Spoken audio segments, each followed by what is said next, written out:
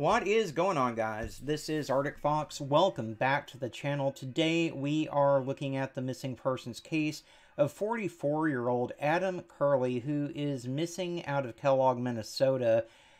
Adam has been missing since around 10:30 in the morning on the 25th of March 2024.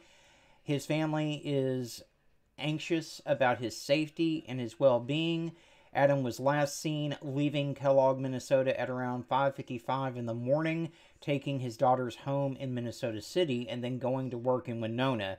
He ended up not showing up for work and then his cell phone was turned off at around 10:30 in the morning on the 25th of. Adam is diabetic and he's also insulin dependent. He is the father of 3 girls and has a family that loves and misses him very much. He does have struggles with mental health and the family just wants to make sure that he is safe and he is well and they're concerned that you know something may have happened to him as any of us would be.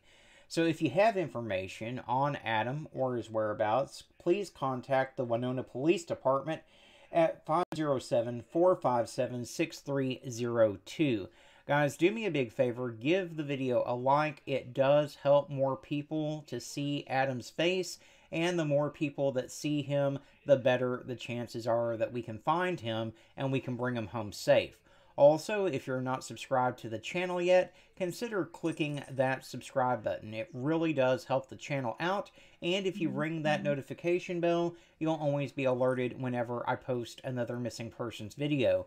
But the most important thing that I need for everyone to do right now is to simply click that share button, guys. Share this to your Facebook, your Twitter, your Instagram, wherever you have social media. It only takes one second of your time to do, and it can make all the difference in the world in whether we're able to find Adam and bring him home safe or not. As always, guys, I do want to thank you so much for tuning in and watching. I appreciate each and every single one of you. Y'all be kind to one another out there, and let's bring Adam home safe.